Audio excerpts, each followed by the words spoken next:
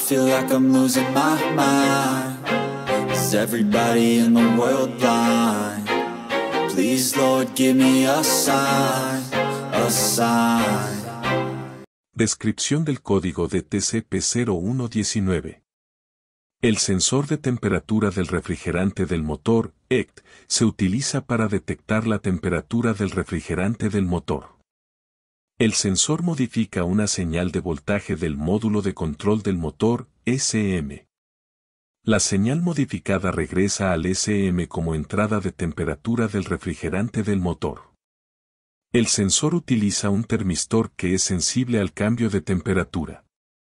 La resistencia eléctrica del termistor disminuye a medida que aumenta la temperatura.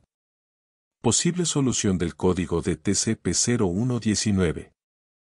Examine visualmente el mazo de cables y los conectores correspondientes. Asegúrese de verificar si hay componentes dañados e inspeccionar las clavijas del conector en busca de signos de estar rotos, doblados, empujados o corroídos. Posibles causas del código de TCP0119. 1. Nivel bajo de refrigerante del motor. 2. Sensor de temperatura del refrigerante del motor, ECT, defectuoso. 3. Termostato de refrigerante del motor defectuoso.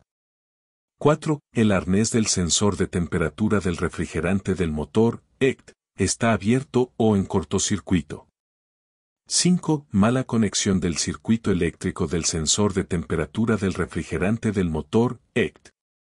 Nota, es posible que las causas que se muestran no sean una lista completa de todos los problemas potenciales y es posible que existan otras causas. I feel like I'm losing my mind? Please Lord give me a a